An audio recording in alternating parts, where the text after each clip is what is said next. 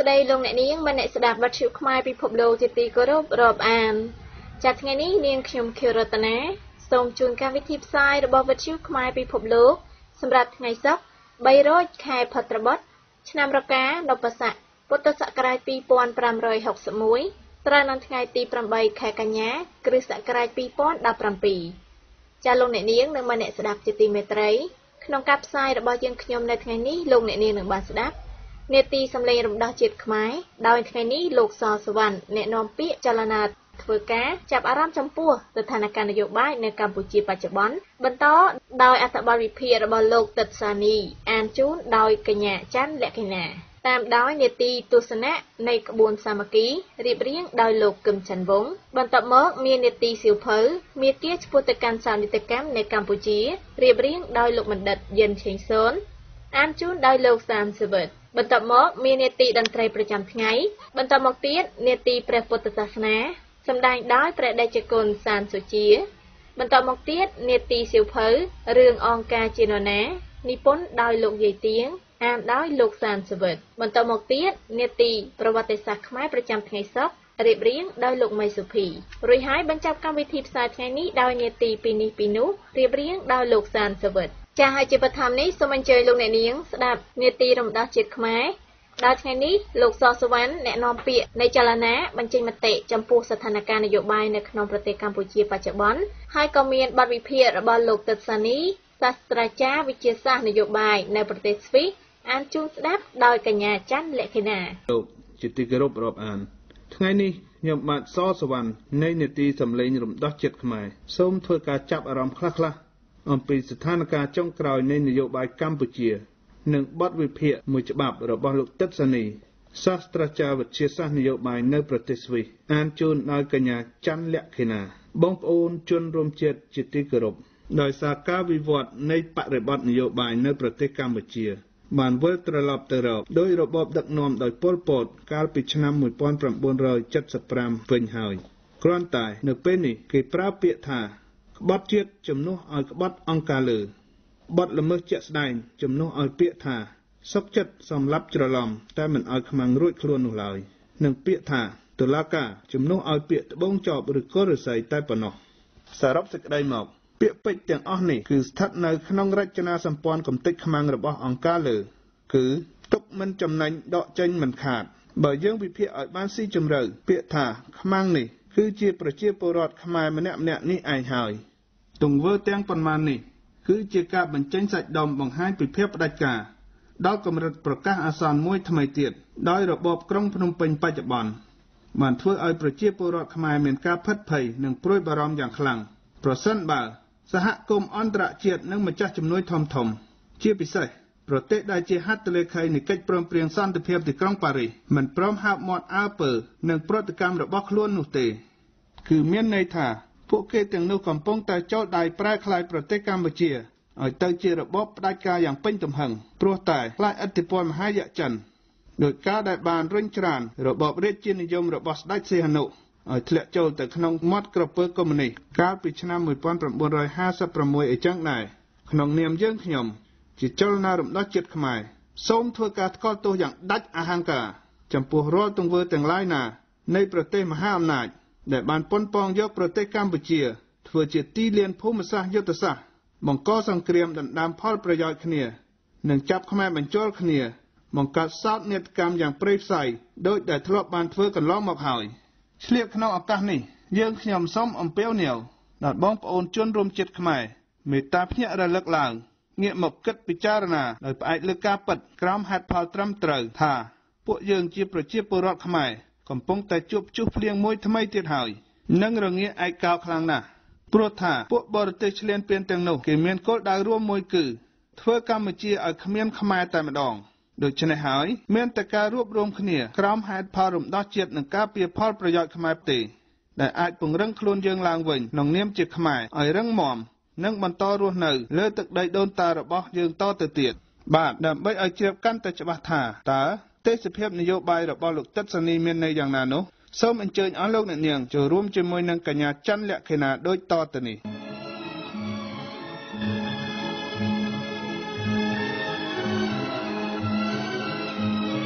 ជំរារាបសួរអស់លោកអ្នកនាងដែលស្ដាប់វិទ្យុខ្មែរពិភពលោក នាងខ្ញុំច័ន្ទលក្ខិណានៃនីតិសម្លេងរំដោះជាតិខ្មែរសូមលើកយកអត្ថបទវិភាគរបស់លោកទឹកសានីមកអានជូនអស់លោកអ្នកនាងស្ដាប់ដូចតទៅតើប្រទេសកម្ពុជាស្ថិតក្នុងស្ថានភាពបែបណាដែរនៅក្នុងបរិបទភូមិសាស្ត្រនយោបាយបច្ចុប្បន្ននៅពេលដែលចិនកំពុងពង្រីកទីតាំងរបស់គេនៅអាស៊ីអាគ្នេយ៍តាមរូបភាពរបបយោធានិយមខ្លះនិងតាមរូបភាពរបបប្រជាធិបតេយ្យคล้ายៗមានយោធានៅពីក្រោយខ្លះ ខាងស្រុកយួនឯណោះវិញ ទីក្រុងហាណូយកំពុងសាកល្បងធ្វើសហការជាមួយអាមេរិកដែលកំពុងមានវិបត្តិផ្ទៃក្នុងបកកុម្មុយនីសយួនមាននិន្នាការពីរគឺមួយចង់សហការជាមួយចិន ហើយមួយទៀតចង់តស៊ូប្រឆាំងចិនដើម្បីបន្តលេបទឹកដីខ្មែរដោយមានបង្អែកពីអាមេរិកផង ទន្ទឹមនឹងនោះយួនក៏ចង់ដើរតួនាទីមួយដ៏សំខាន់ជាមួយអាមេរិកនៅក្នុងអាស៊ីអាគ្នេយ៍ទៀតផង យួនកំពុងពិនិត្យស្ថានភាពនេះយ៉ាងហ្មត់ចត់តើត្រូវឯកចិនឬក៏សហការជាមួយអាមេរិកដែលពុំទាន់សម្រេចបោះបង់តំបន់យុទ្ធសាស្ត្រនេះនៅឡើយដោយឥទ្ធិពលរបស់អាមេរិកនៅស្រុកខ្មែរត្រូវបានបាត់បង់នៅពេលថ្មីថ្មីនេះតើអាមេរិកត្រូវធ្វើដូចម្ដេចនេះជាបញ្ហាដែលគេកំពុងចោទសួរបញ្ហាមួយទៀតគឺតើក្នុងករណីនេះស្រុកខ្មែរអាចគេចផុតពីការប្រឈមមុខនឹងសហរដ្ឋអាមេរិកបានទេ ហើយតើការប្រឈមមុខនេះមានរូបភាពបែបណា នៅពេលដែលអាមេរិកពុំទាន់មានលទ្ធភាពអាចធ្វើអ្វីបានជាដុំកំភួនហើយនៅពេលដែលយួនកំពុងជន់ទូពីយួនជន់ទូពីព្រោះដៃម្ខាងរុញឲ្យខ្មែរទៅខាងចិនឲ្យផុត ហើយដៃម្ខាងទៀតបោចហៅឲ្យអាមេរិកប្រញាប់មកឲ្យទាន់សភាពការដើម្បីជួយទប់កុំឲ្យចិនយកខ្មែរទាន់នេះគ្រាន់តែជាសេណារីយ៉ូកំ pl ែងមួយរបស់យួនប៉ុណ្ណោះ ហើយនៅមានសេណារីយ៉ូមួយចំនួនទៀតដើម្បីតម្រូវទៅតាមការវិវត្តនៃស្ថានភាពខាងលើនេះគឺសុទ្ធតែជាដុំពពកខ្មៅងងឹតដែលបញ្ជាក់ពីបរិយាកាសអាប់អួរដែលប្រាប់ជាមុនថាអាចនឹងមានភ្លៀងតូចឬធំមួយមេដែរនៅពេលនេះគេហាក់ដូចជាឃើញថាអ្នកដឹកនាំខ្មែរដែលបម្រើផលប្រយោជន៍ចិន មានភារកិច្ចមួយដ៏ធំគឺដេញពួកប្រចាំប្រទេសចេញឲ្យអស់ពីស្រុកខ្មែរ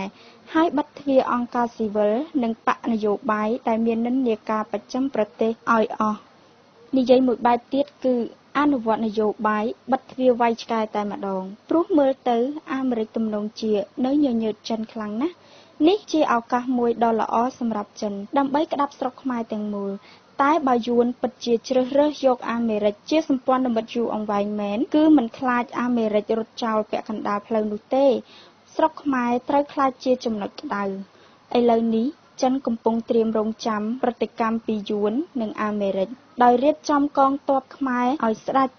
ខាងយួនអាមេរិកគេក៏រាយទ័ពតាមព្រំដែនឡាវទុកជាស្រេចដែរ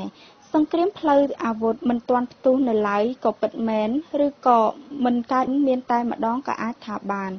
តែសង្គ្រាមមួយបែបដែលមានយូរមកហើយកំពុងតែកំទេចរចនាសម្ព័ន្ធច្បាប់ រចនាសម្ព័ន្ធមនោគមវិជ្ជាពហុបកនិយម និងនយោបាយរបស់ខ្មែរយ៉ាងជាក់ស្ដែងពោលគឺសង្គ្រាមបិទមុខមួយប្រកបដោយគ្រោះថ្នាក់ខុសបន្តិចពីនៅឆ្នាំ1977និងឆ្នាំ1978គឺ12ឆ្នាំមុនការចុះហត្ថលេខាកិច្ចព្រមព្រៀងសន្តិភាពទីក្រុងប៉ារីសថ្ងៃទី23ខែតុលាឆ្នាំ1991 ការប្រយុទ្ធផ្ទៃក្នុងរវាងក្រុមយួននិងក្រុមចិននៅក្នុងបកប្រជាជននៅពេលនេះហាក់ដូចជាកំពុងតែចុះខ្សោយជាលំដាប់ក្រោមការគាបសង្កត់របស់មហាយៈចិន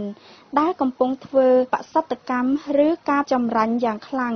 ចិនឆ្លៀតឱកាសប្រើអ្នកដឹកនាំខ្មែរនិយមចិនសពថ្ងៃនេះមួយរយៈពេលចុងក្រោយបង្អស់ទៀតដើម្បីធ្វើកិច្ចការគួរឲ្យព្រឺឆ្អឹងខ្នងមួយបែប ដែលចិនតម្រូវឲ្យខ្មែរធ្វើមុននឹងគេដាក់ពួកចំនួនក្រោយឲ្យជំនួសនៅពេលឆាប់ឆាប់ខាងមុខនេះ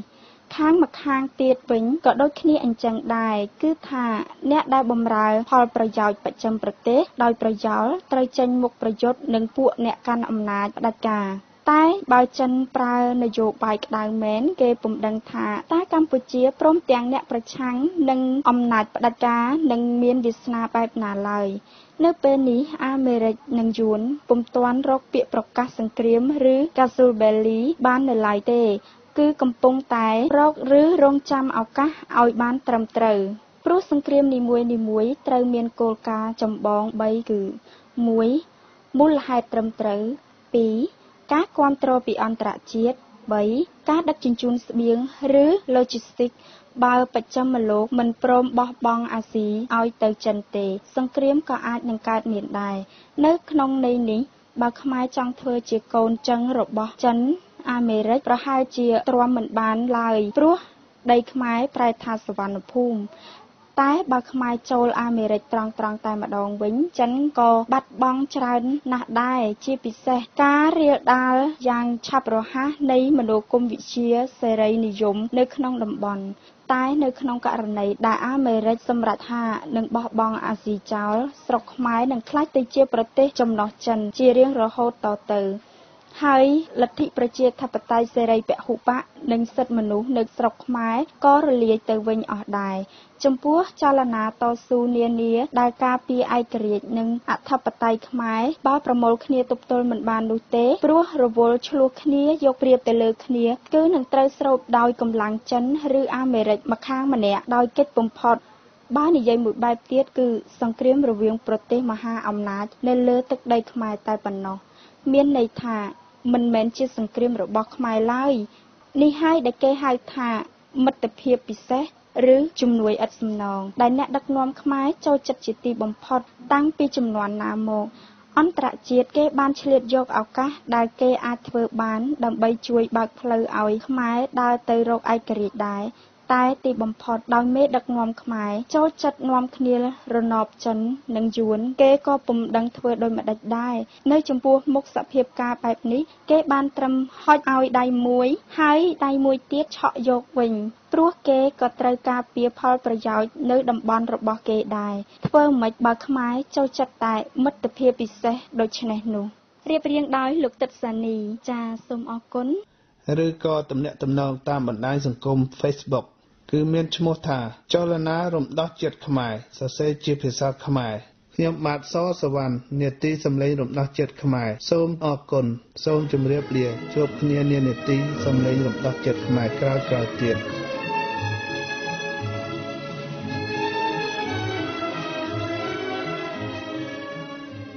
ចាលំដាប់តមកទៀតនេះសូមអញ្ជើញលោកអ្នកនាងស្ដាប់នេតិទស្សនៈនៃក្បួនសាមគ្គីរៀបរៀងដោយលោកកឹមច័ន្ទវង្ស អគ្គលេខានៃអង្គការសម្ព័ន្ធដើម្បីកិច្ចព្រមព្រៀងសន្តិភាពទីក្រុងប៉ារីសស្ដីពីកម្ពុជា បន្តពន្យល់អំពីសាមគ្គីធម៌ក្នុងចំណោមខ្មែរចាសសូមអញ្ជើញស្ដាប់ដូចតទៅ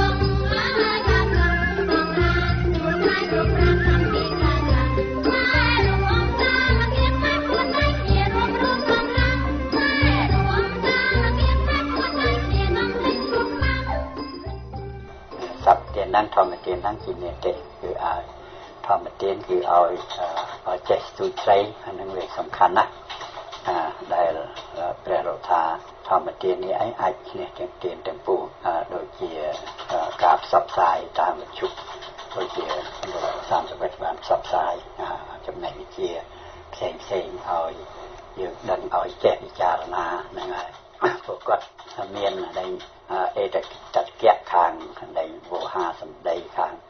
ផ្សាយផ្សំហ្នឹងហើយយើងអ្នកផ្សេងដែលយើងមិនចេះហើយយើងក៏មិនអាចទៅធ្វើអ្វីឲ្យបានស្រួលដែរដូចជាខ្ញុំជាដើមហ្នឹងតែបញ្យល់គេលអលអួលប៉ុន្តែចេះតែខំប្រឹងប្រែងទៅជួយបញ្យល់គ្នាធម្មទាន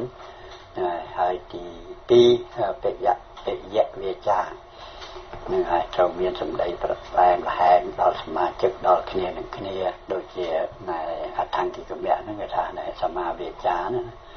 ណាទី3អដ្ឋចរិយាផ្ដល់ប្រយោជន៍ដល់គ្នានឹងគ្នាប្រយោជន៍ដល់សមាជិកសមាជិកាផងប្រយោជន៍ដល់ក្រុមដទៃផងមិនមែនគិតតែប្រយោជន៍ផ្ទាល់ខ្លួនទេ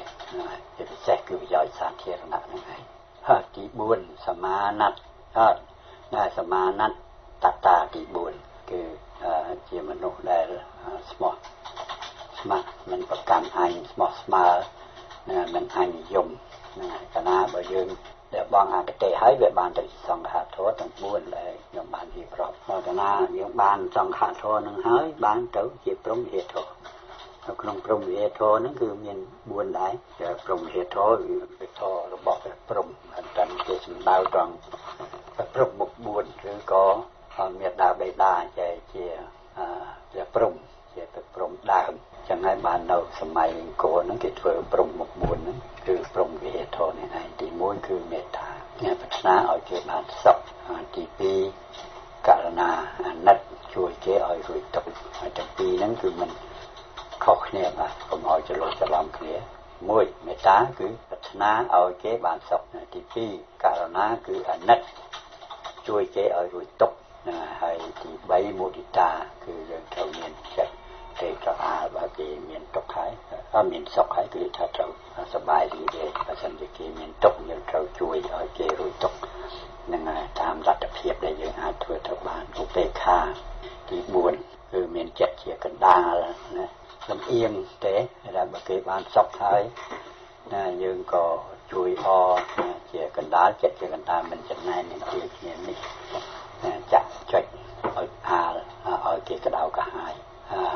នេះហើយគឺយើងបានទៅជាព្រមហេតុហើយបានយើងបានទៅជាសាមគ្គីដែលបានដើរទៅជាមួយគ្នានឹងឯងដែលបានទៅរួបរวมគ្នាហ្នឹងគេហៅថាធម៌សាមគ្គីហើយមុននឹងទៅដល់ធម៌សាមគ្គីខ្ញុំសូមលើកធម៌ទល់ផ្សេងផ្សេងទៅយ៉ាងម៉េចដើម្បីជួយសាមគ្គីនឹងឲ្យបានដើរទៅមុខនៅក្នុង និមិត្តសញ្ញាហ្នឹងដែលមានរង្វង់5ហ្នឹងគឺរង្វង់5ដូចជាអង្គ5ហ្នឹងហើយហើយអង្គវត្តយើងហ្នឹងដែលមានកម្ពស់5ហ្នឹងហើយហើយមានតោ5មានអង្គ5មានតោ5ដូច្នេះខ្ញុំសូមលើកជំទល់ទាំងអស់ហ្នឹងមករៀបរាប់អធិប្បាយម្ដងមួយម្ដងមួយដើម្បី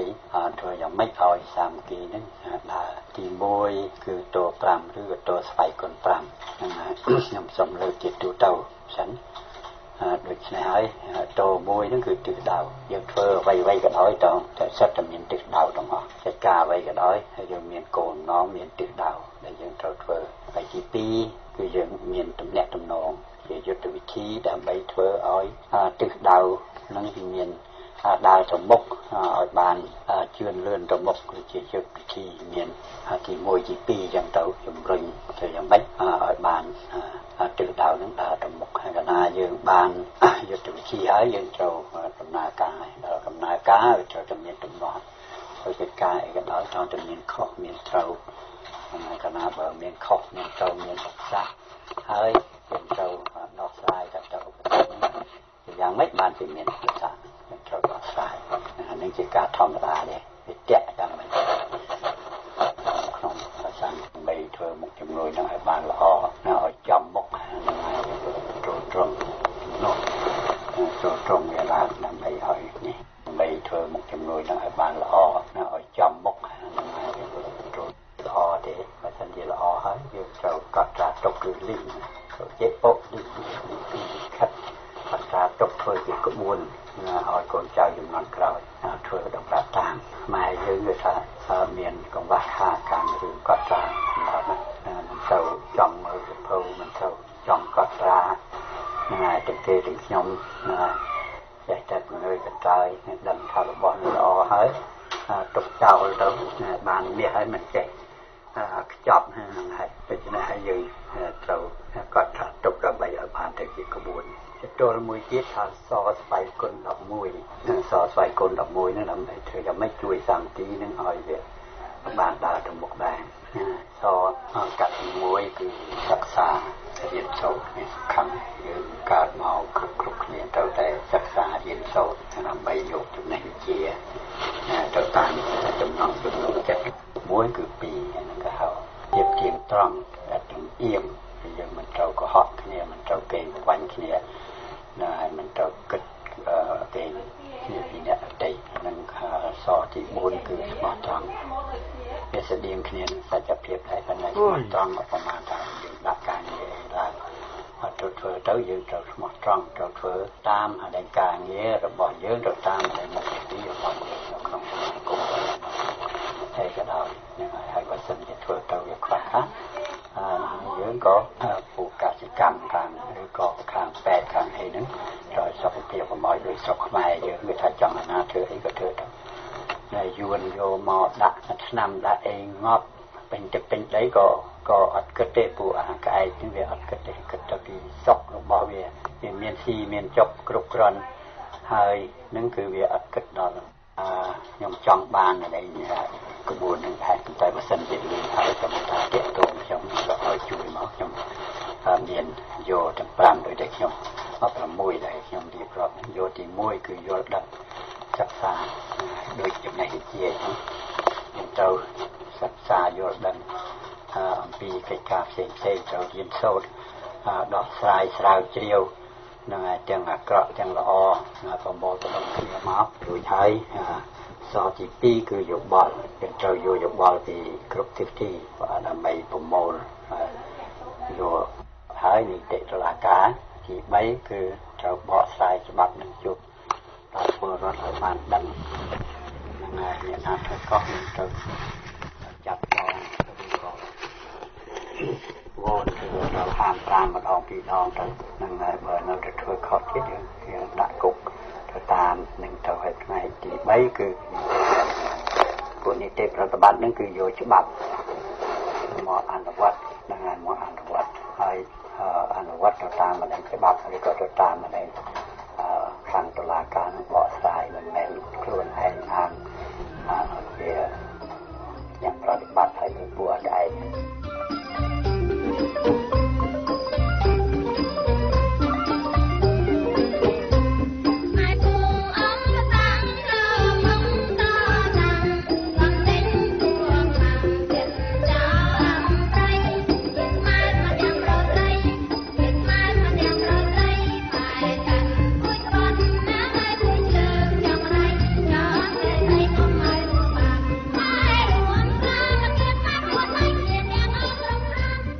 ចាលំដាប់តមកទៀតនេះសូមអញ្ជើញលោកអ្នកនាងស្ដាប់នេតិសៀវភៅមាគ៌ាឆ្ពោះទៅកាន់សោន្យតកម្មនៅកម្ពុជារៀបរៀងដោយលោកបណ្ឌិតយិនឆេងសននិងអានជូនស្ដាប់ដោយលោកសានសវតជម្រាបសួរអស់លោកអ្នកនាងមនស្ដាប់វិទ្យុខ្មែរពីពលរដ្ឋទីគោរពរាប់អានខ្ញុំសូមបន្តអានសៀវភៅរឿងមេគាឆ្ពោះទៅកាន់សោកនាដកម្មនៅកម្ពុជារបស់លោកបណ្ឌិតយិនឆេងសូនដែលថ្ងៃនេះ ចូលដល់ដល់ថ្ងៃនេះនៅក្នុងជំពូកទី13បាទហើយចូលដល់វគ្គស្ដីពីក្តីសង្ឃឹមថ្មីរបស់ចិនមកលើខ្មែរក្រហមទស្សនៈនយោបាយរបស់ចិនចំពោះសម្ដេចសៀនុនិងខ្មែរក្រហមមានការប្រែប្រួលនៅចន្លោះចុងឆ្នាំ1973និងដើមឆ្នាំ1974 រហូតមកដល់ចុងឆ្នាំ1973ចិនបានពឹងផ្អែកជាសំខាន់មកលើកិច្ចសហប្រតិបត្តិការជាមួយសម្ដេចសៀនុដើម្បីទប់ឥទ្ធិពលរបស់វៀតណាមនិងសូវៀតនៅកម្ពុជា ហើយចិនក៏មានការប្រយ័ត្នប្រយែងក្នុងការប្រព្រឹត្តមកលើខ្មែរក្រហមដែរពីព្រោះខ្មែរក្រហមបាននឹងកំពុងទទួលជំនួយនឹងការឧបត្ថម្ភនានាពីពួកវៀតណាមក្នុងការកសាងសមត្ថភាពប្រយុទ្ធនិងការតស៊ូរបស់ខ្លួន។ នៅចំពោះមុខការដកខ្លួនរបស់សហរដ្ឋអាមេរិកពីឥណ្ឌូចិននៅថ្ងៃទី19ខែមករាឆ្នាំ1974ចិនបានប្រើកងទ័ពនាវាចរនិងទ័ពអាកាសចរវាយបណ្ដេញកងទ័ពរដ្ឋាភិបាលក្រុងព្រៃនគរនិងប្រកាសអធិបតេយ្យភាពរបស់ខ្លួនលើកោះប៉ារ៉ាសែលនេះជាការផ្ដើមអរិភាពរវាងក្រុងប៉េកាំងនិងក្រុងហាណូយ ក្នុងឆ្នាំ1974ដដែល ចិនកាន់តែរីករាយក្នុងការផ្ដល់កិច្ចគាំទ្រចំពោះខ្មែរក្រហមក្នុងខែមេសាខៀវសំផនបានទៅបំពេញទស្សនកិច្ចនៅទីក្រុងប៉េកាំងហើយនេះជាជនកុម្មុយនីសខ្មែរទី1ដែលបានទទួលកិត្តិយសក្នុងការជួបជាមួយប្រធានម៉ៅសេទុងនាឱកាសនោះចិនបានយល់ព្រមក្នុងការផ្ដល់បរិខាសឹកនិងគ្រឿងផ្គត់ផ្គង់ដល់ចលនាកុម្មុយនីសកម្ពុជា។ ការទទួលដ៏កក់ក្ដៅរបស់ចិនចំពោះខៀវសំផនគឺជាសញ្ញាបង្ហាញពីការផ្លាស់ប្ដូរនយោបាយរបស់ក្រុងប៉េកាំងក្នុងដំណោះស្រាយបញ្ហាកម្ពុជាចេញពីការដោះស្រាយបែបនយោបាយពោលគឺការបង្កើតនរដ្ឋាភិបាលអព្យាក្រឹតដឹកនាំដោយសម្ដេចនរោត្តមសីហនុឆ្ពោះទៅកាន់ដំណោះស្រាយតាមផ្លូវយោធាវិញប្រភពដដែលបានយោងឯកសារដែលទើបតែបញ្ចេញឲ្យដឹងថ្មីថ្មីនេះតាមរយៈបណ្ណាសារអាមេរិកបង្ហាញថា រដ្ឋការលោក Gerald Ford កាលពីខែវិច្ឆិកាឆ្នាំ1974បានព្យាយាមបញ្ចុះបញ្ចូលឲ្យចិន ជួយរក្សារបបលន់នល់ប្រឆាំងនឹងខ្មែរក្រហមនៅក្នុងកិច្ចសន្ទនារបស់ខ្លួនជាមួយនឹង Deng Xiaoping ដែលកាលនោះជាជំនួយការផ្ទាល់របស់ Zhou Enlai Kissinger បានស្នើឲ្យមានការលើកស្ទួយសម្ដេចសៀននោះឲ្យឡើងកាន់អំណាចជាប្រមុខរដ្ឋាភិបាលចម្រុះដ៏ធំមួយនៅកម្ពុជា ដែលអាចរួមបញ្ចូលទាំងអ្នកគ្រប់គ្រងរបបលន់នល់ផងប៉ុន្តែតឹងសៀវភីងបានបដិសេធសំណើរបស់ភាគីអាមេរិកមានហេតុផលមួយចំនួននៅពីក្រោយ ការផ្លាស់ប្ដូរទស្សនៈនិងអរិយាប័ត្រនយោបាយរបស់សាធារណរដ្ឋប្រជាមានិតចិន ដែលជាអ្នកធ្លាប់គ្រប់គ្រងសម្ដេចសៀនុដ៏យូរលង់ហើយដល់ចុងក្រោយងាកមករកការគ្រប់គ្រងកម្លាំងតស៊ូប្រដាប់អាវុធរបស់ពួកខ្មែរក្រហមនៅឆ្នាំ1974 ទី1គឺការប្រែប្រួលនៅក្នុងផ្នត់គំនិតរបស់ថ្នាក់ដឹកនាំចិនទៅលើទំនាក់ទំនងរវាងខ្មែរក្រហមនិងវៀតណាមខាងជើង នៅអំឡុងពេលនោះនៅឆ្នាំ1974ប៉ុលពតកាន់តែមានភាពឯករាជ្យខ្លាំងឡើងខ្លាំងឡើងពីក្រុងហាណូយហើយកន្លងមកថែមទាំងមានការប៉ះទង្គិចធំធំរវាងកងកម្លាំងខ្មែរក្រហមនិងកងទ័ពកុម្មុយនីសវៀតណាមទៀតផង ការផ្លាស់ប្ដូរទំនាក់ទំនងនេះធ្វើឲ្យអ្នកតាក់តែងយុទ្ធសាស្ត្ររបស់ចិនយល់ថាកម្ពុជាដែលនឹងកាន់កាប់ដោយពួកខ្មែរក្រហមលែងមានសម្ព័ន្ធភាពព្រមទាំងចំណោះទៅនឹងពួកវៀតណាមទៀតហើយ។ហេតុផលទី2គឺដោយដឹងអំពីការតាំងចិត្តនិងកម្លាំងរបស់ខ្មែរក្រហមអ្នកដឹកនាំចិនប្រកាន់យកជំហរច្បាស់ថាប្រសិនបើគេចង់ទទួលបាននូវផលប្រយោជន៍និងបង្កើនឥទ្ធិពលខ្លួនលើវៀតណាម និងកម្រិតអំណាចសូវៀតនៅកម្ពុជា គេត្រូវតែគ្រប់គ្រងប៉ុលពតព្រោះពួកនេះអាចឲ្យគេមានទំនុកចិត្តជាងសម្ដេចសៀនុដោយសារទ្រង់ធ្វើការប្រែប្រួលប្រតិជាញឹកញាប់ហើយពួកនេះក៏ជាអ្នកក្តាប់អំណាចជាក់ស្ដែងថែមទៀតចិនដើរតួនាទីយ៉ាងសំខាន់ក្នុងការជួយដល់ខ្មែរក្រហមឲ្យសម្រេចជំហានចុងក្រោយ ដើម្បីគ្រប់គ្រងអំណាចនៅកម្ពុជា ស្ដីពីផែនការសន្តិភាពក្រោមការប្រទាញប្រទង់ ប៉ុន្មានខែមុនការដួលរលំនៃក្រុងភ្នំពេញសហរដ្ឋអាមេរិកបារាំងជប៉ុននិងបណ្ដាប្រទេសសមាជិកអាស៊ាន បានសម្របសម្រួលឲ្យមានផ្លូវឆ្ពោះទៅកាន់ការចរចាផ្សះផ្សាគ្នារវាងភាគីចំនួននៅកម្ពុជា នៅក្នុងនោះ គេតម្រូវឲ្យលន់នល់ចាកចេញពីកម្ពុជានឹងការយាងរបស់សម្ដេចសៀនុមកកាន់ក្រុងភ្នំពេញដើម្បីរៀបចំរដ្ឋអំណាចថ្មីនៅកម្ពុជា សមាជិកប្រសិទ្ធិអាមេរិកជាច្រើនរូប ទាមទារលន់នល់ឲ្យលាលែងពីតំណែងហើយឯកអគ្គរដ្ឋទូតប្រទេសជប៉ុនមានភារកិច្ចបញ្ចុះបញ្ចូលលន់នល់ឲ្យចាកចេញពីកម្ពុជាជាថ្នូរនឹងទឹកប្រាក់1លានដុល្លារជាការប៉ះប៉ូវដល់ការលះបង់នេះ។ហើយអ្នកដឹកនាំនៃរបបសាធារណរដ្ឋខ្មែររូបនេះបានចាកចេញពីកម្ពុជានៅថ្ងៃទី1ខែមេសាឆ្នាំ1975ជាជំនួសលោកប្រធានាធិបតីលន់នល់លោកឧត្តមសេនីយ៍សូខំខុយដែលជាប្រធានព្រឹទ្ធសភា ត្រូវកាន់តំណែងជាប្រធានាធិបតីស្ដីទីប៉ុន្តែលោកបានចាកចេញជាមួយការជន្លះដោយកងទ័ពនាវាចរអាមេរិកនៅព្រឹកថ្ងៃទី12ខែមេសា ដំណើរគ្នានោះការិយាល័យអាមេរិកនៅក្រុងប៉េកាំងមានភារកិច្ចសម្របសម្រួលការយាងនិវត្តន៍មកកាន់ក្រុងភ្នំពេញរបស់សម្ដេចនរោត្តមសីហនុ រហូតមកដល់ថ្ងៃទី11ខែមេសាឆ្នាំ1975នៅទីក្រុងប៉េកាំងអ្វីអ្វីហាក់ដូចជាប្រព្រឹត្តទៅយ៉ាងរលូនរវាងអាមេរិកនិងសម្ដេចសីហនុក្នុងកិច្ចខិតខំប្រឹងប្រែងបញ្ចប់សង្គ្រាមនៅកម្ពុជា។សែតាវិមានបានថែមទាំងផ្ញើលិខិតមួយថ្វាយសម្ដេចគាំទ្រដល់ព្រះរាជតួនាទីព្រះអង្គក្នុងការស្វែងរកដំណោះស្រាយនយោបាយលើបញ្ហាកម្ពុជា និងធានាដល់ការយាងវិលត្រឡប់មកកាន់មាតុប្រទេសវិញ នៅឯភ្នំពេញឯណោះនាល្ងាចថ្ងៃទី11ខែមេសារដ្ឋាភិបាលលោកឡុងបូរ៉េតបានត្រូវរំលាយហើយស្ថាប័នគណៈកម្មាធិការកម្ពុជាមួយ បានត្រូវរៀបចំឡើងដោយមានសមាជិកមន្ត្រីចិនខ្ពស់7រូបមានលោកឡុងបូរ៉េតអោបគឹមអាងហងធុនហៈឧត្តមសេនីយ៍សក់សិទ្ធសខនឧត្តមសេនីយ៍ថោងវ៉ាន់ហ្វាន់មឿងឧត្តមសេនីយ៍អៀឆុងនិងឧត្តមនាវីវងសារិនឌី ដើម្បីគ្រប់គ្រងប្រទេសបណ្ដោះអាសន្នក្នុងការរងចាំដំណើរយាងត្រឡប់របស់សម្ដេចនរោត្តមសីហនុដោយទូទាត់ទៅតាមការទៀមទីរបស់អៀងសេរីនៅពេលនោះ ពួកចិនបានពិនិត្យជំហរខ្លួនឡើងវិញ ហើយក្រឡាស់បោះបង់សម្ដេចសៀនុចោលនៅវេលាម៉ោង4ព្រឹកម៉ោងនៅពេលកាំងនៃថ្ងៃទី12ខែមេសាឆ្នាំ1975អ្នកដឹកនាំចិនបានជម្រាបទៅលោក John Holdridge ប្រធានការិយាល័យទំនាក់ទំនងសហរដ្ឋអាមេរិកថារដ្ឋាភិបាលចិនលែងយល់ព្រមធ្វើការផ្ទេរភាពមេដឹកនាំគេ នៅក្រុងភ្នំពេញថ្វាយសម្ដេចសៀនុដោយដែលបានព្រមព្រៀងនឹងក្រុងទុកទៀតហើយនេះជាការបើកទ្វារនៃវាលមរណៈនេះឯងជាការពិតនៅក្នុងគណៈនោះកងទ័ពខ្មែរក្រហម ចូលមកកាន់តាគៀកក្រុងភ្នំពេញហើយក៏ប៉ុន្តែវាក៏បង្ហាញថាចិនមានការលំអៀងទៅរកចលនាខ្មែរក្រហមផងដែរតាំងពីមុននោះមកម្លេះពី3ម៉ោងក្រោយការផ្លាស់ប្ដូរជំហរចិនភ្លាមៗដូច្នេះបានធ្វើឲ្យប្រធានាធិបតីអាមេរិក Gerald Ford មានការស្រងាក់ចិត្តហើយធ្វើការប្រកាសឲ្យដឹងជាសាធារណៈថាស្ថានភាពនៅកម្ពុជា មានលក្ខណៈគួរឲ្យព្រឺរន្ធត់បំផុត និងប្រហែលជាយឺតពេលទៅហើយដើម្បីជួយរដ្ឋាភិបាលក្រុងភ្នំពេញនោះហើយក៏បានបញ្ជាឲ្យដកបុគ្គលិកនិងពលរដ្ឋអាមេរិកចេញពីកម្ពុជាតាមរយៈប្រតិបត្តិការ Entry ស្រង់យក The Eagle Pull នៅព្រឹកថ្ងៃទី12ខែមេសា ចំពោះមុខស្ថានភាពដែលគ្មានជំរើសបែបនេះឯអគ្គរដ្ឋទូតអាមេរិកទទួលបញ្ជាពី Washington ឲ្យរៀបចំការជន្លៀសមន្ត្រីថ្នាក់ខ្ពស់ របស់រដ្ឋាភិបាលសាធារណរដ្ឋខ្មែរចេញពីទីក្រុងភ្នំពេញជាបន្ទាន់ដោយបានអញ្ជើញជាពិសេសត្រង់ស៊ីសវ័តសិរីមតៈលោកឡុងបូរ៉េតដែលបំពេញនាទីចុងក្រោយជានាយករដ្ឋមន្ត្រីនិងលោកលន់ណុនដែលជាប្អូនសេនាប្រមុខលន់ណុលដែរប៉ុន្តែអ្នកទាំង3រូបនោះបានបដិសេធ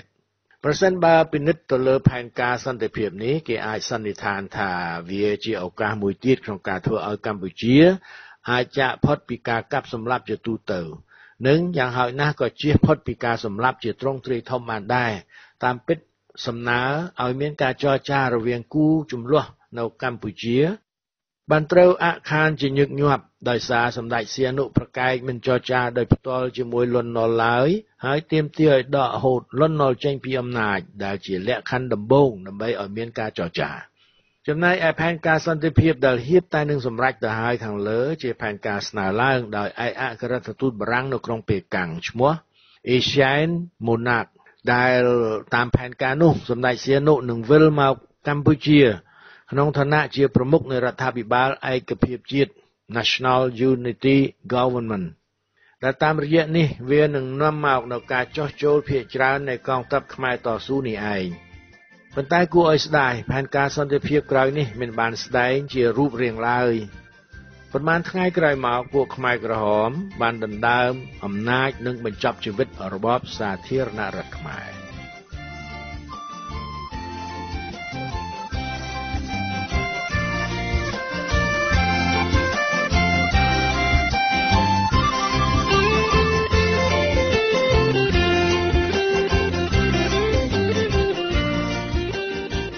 បាទជំពូកទី13ក៏អេវ៉ាំងតែត្រឹមនេះអរលោកនាងមានស្ដាប់ជាទីគោរពរាប់អានយើងឃើញថាវគ្គដែលកន្លងមកនេះសំខាន់ខ្លាំងណាស់បាទរឿងទាំងអស់នេះយើងឃើញច្បាស់ហើយថាគឺចិននោះឯងដែលផ្លាស់ប្ដូរជំហររបស់ខ្លួនធ្វើឲ្យមានបញ្ហាវាលពិឃាតកើតឡើងនៅកម្ពុជា បាទខ្ញុំសូមស្លេះអំណានសិភៅដ៏សំខាន់មួយនេះ តែប៉ុណ្ណេះសិន និងលើកយកជំពូកទី14ស្ដីពីការឡើងកាន់អំណាចរបស់ពួកខ្មែរក្រហមនៅថ្ងៃទី17មេសាឆ្នាំ1975នឹងការចាត់តាំងរដ្ឋអំណាចយកមកអានជូនលោកនាងស្ដាប់រឿងទាំងអស់នេះគឺតាមក្រសែភ្នែករបស់ប្រវត្តិវិទូ អ្នកនិពន្ធអ្នកកាសែត និងអ្នកស្រាវជ្រាវមួយចំនួនដែលលោកបណ្ឌិត ស៊ីនឆេងសូនបានប្រមូលផ្ដុំយកមករៀបរាប់ជូនលោកនាងស្ដាប់បាទបាទសូមជម្រាបលាចាំថ្ងៃក្រោយជួបគ្នាទៀត